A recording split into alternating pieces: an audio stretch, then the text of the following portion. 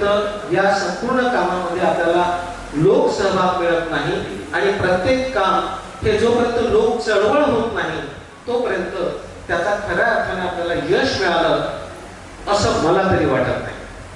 देशाचा एक सुजाण नागरिक म्हणून या कामामध्ये माझा हातभार लागला पाहिजे ही एक महत्त्वपूर्ण भूमिका आपल्याला पार पाडायची आहे. सुका कचरा वेगवेगळा ठेवावा.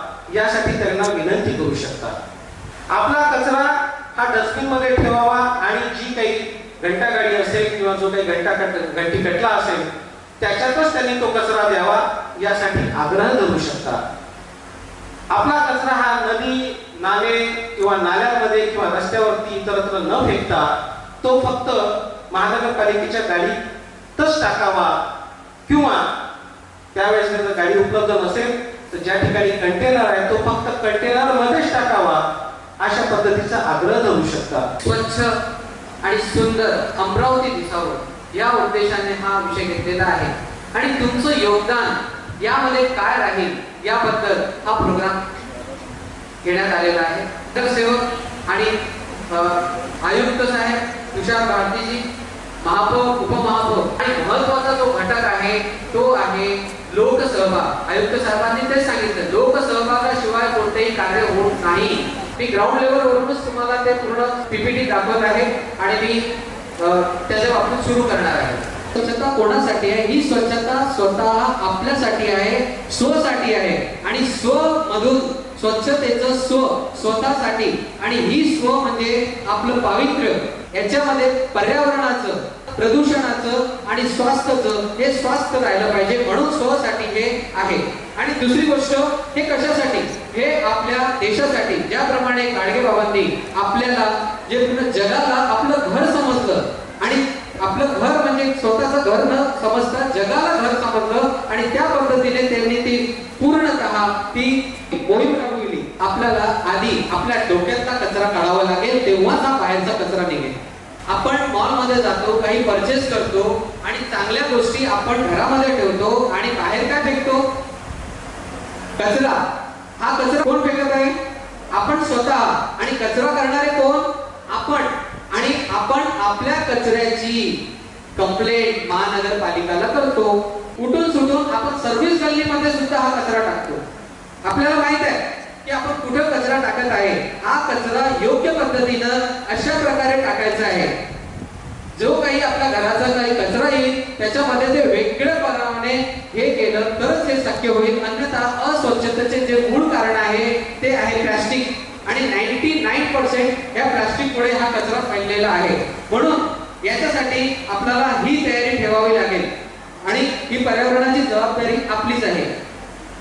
जो काही आपला स्वयंपाकघराचा जो कचरा आहे चहा पत्ती पासून जे काही नाचलेलं विटलेलं वाचलेलं आहे जे आपण खातो ते त्या हिरव्या कुंडीमध्ये ठेवायचं आहे. जे काही गार्डन असतो त्याचा पाला पाचोळा सुद्धा तुम्ही त्याच्यामध्ये टाकू शकता. आणि जे काही सुका कचरा म्हणजे त्याच्यात पेपर प्लास्टिक जे रिसायकलसाठी होतो त्या सगळ्या गोष्टी या निळ्या डब्यामध्ये टाकायचं सांगायचं आहे.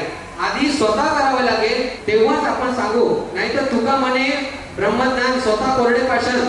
जी तिसरी कुंडी ठेवलेली आहे ती म्हणजे बायो हजार्डस जे काही जे रिजेक्टेड किंवा अस्वीकार कचरा किंवा बायो हजार्डस म्हणतात त्याला ते रिजेक्टेड या लाल कोटीमध्ये ठेवणं आवश्यक आहे.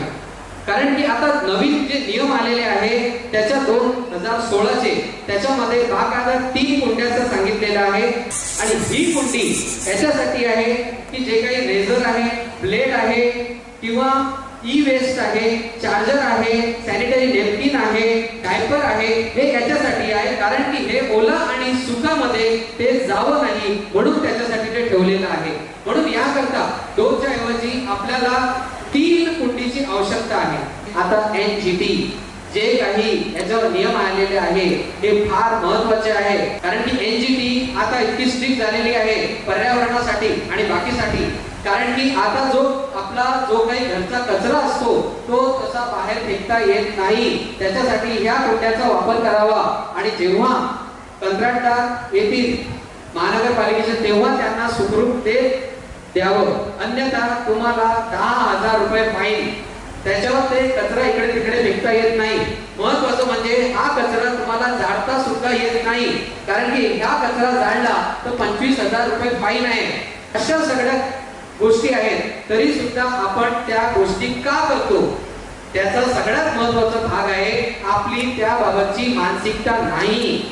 आणि अगोदर आपल्याला स्वतःपासून ती मानसिकता तयार करावी लागेल तेव्हाच ते सार्थक होईल. मी शपथ घेतो की आजपासून तीन कलरच्या कुंड्या आहेत. त्या तीन कलरच्या कुंड्यामध्ये त्याचा कचरा त्या कुंडीमध्ये टाके पन्नास मायक्रॉनपेक्षा प्लास्टिकचा उपयोग करणार नाही. आणि लोकांना सुद्धा याबाबत सांगेल धन्यवाद.